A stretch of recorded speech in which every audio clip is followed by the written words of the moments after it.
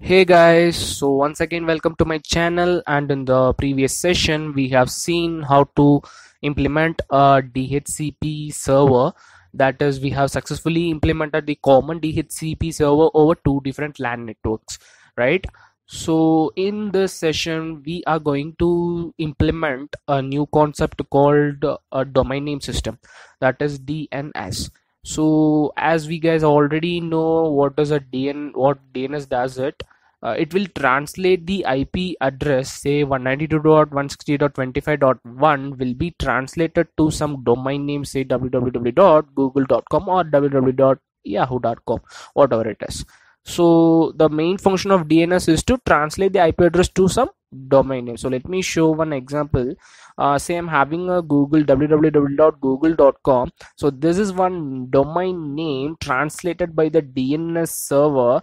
Okay so behind this uh, domain name there will be there will definitely be some uh, ip address say 192 or 168 whatever it is so that ip address will be translated to host name for the uh, user convenience. Uh, if we are going to type the uh, entire ip address now then it will be you know not that much convenient right? So for that purpose only we are going to implement one concept called dns that is domain name system. So let me go ahead to the cisco packet tracer and implement it. So as you can guys see this is the uh, network which we implemented in the previous uh, video um, this this LAN network is going to have uh, a DHCP server. So obviously this will these guys will get the uh, dynamic IP address from this server pool uh, server pool of IP address.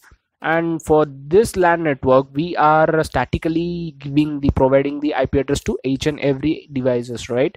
Uh, say 20.1 2 3 4 5 and 6 so these three uh, devices are, are the you know web servers uh, say uh, having an IP address of 20.0.0.4 5 and 6 so in order to access these uh, web servers we will be going to this uh, you know pc uh, and we'll be going to the web browser. So from web browser only we'll be able to access it. So 20.0.0.4 and type enter. As you guys can see we are able to access this web server and it is displaying some html page right so in order to you know access this web server using some domain name we uh, we have successfully implemented a dns server over here. So let me go ahead and you know show you how it is done so for that uh, you need to provide the static ip address for this guy that is this dns server guy. So go to ipconfig and provide the static ip addresses over here and provide the default gateway and just close this one and go to services tab. In the services tab as you guys can see we are having one service called dns that is domain name system. Uh, what you have to do is you have to provide you know give the dns services on and type the name that is say www.gmail.com here and the respective ip address over here. That is address address over here and and you know click add. Say i'm having some name called www.grfs or gmrs uh, dot com and uh, it is having some ip address of say 20.0.0.6 or something like that and press add. So as you guys can see the grms.com uh, is added with the ip address of 20.0.0.6 so this is how you will add the you know uh, ip address and the respective domain name over here. And we have successfully assigned the uh, domain name and ip addresses. Uh, so what you have to do is we have to provide this dns server ip address uh, over this uh, devices. Okay so what I have to do is I in uh, in this part in this LAN network I have implemented using DHCP server. So what I can do is I can go to this, go to this DHCP and I'm having one option of you know entering this DH, DNS server.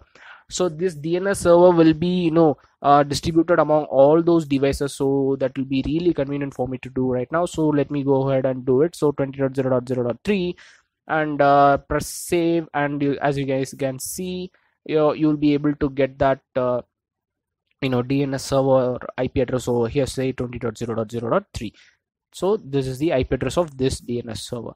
Guys remember to you know give this DNS server in every devices. In order to access these web server you need to have this DNS server IP address over in all the devices.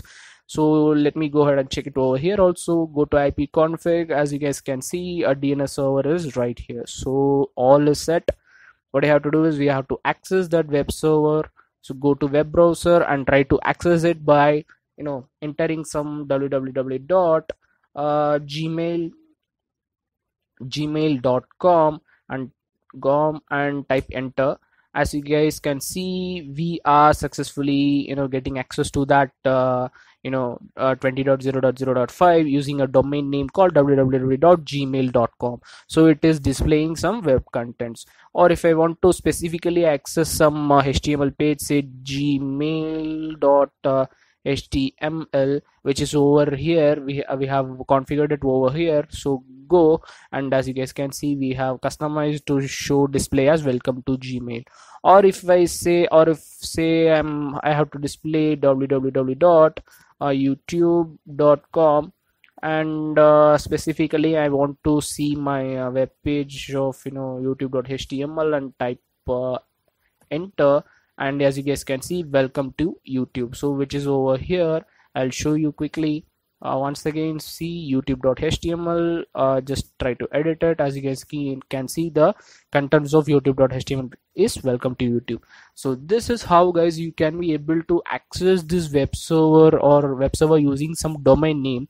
So this dns server what it does is uh, it will translate these ip addresses uh, into some domain name called say www.youtube.com so we have successfully implemented the concept of dhcp uh, i'm sorry dns over here.